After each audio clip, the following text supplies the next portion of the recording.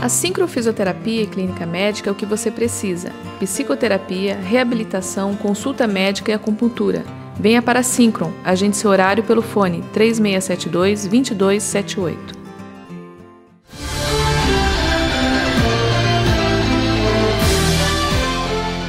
Um acidente envolvendo três caminhões na BR-116 próximo à estrada de acesso a Sertão Santana deixou pelo menos um ferido. O condutor de um dos caminhões ficou preso nas ferragens e precisou ser retirado pelos bombeiros e equipes de resgate.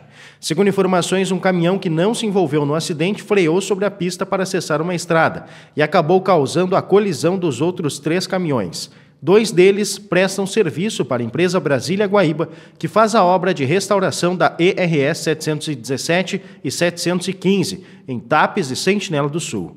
A vítima foi removida para o Hospital de Guaíba pela equipe do SAMU de Tapes.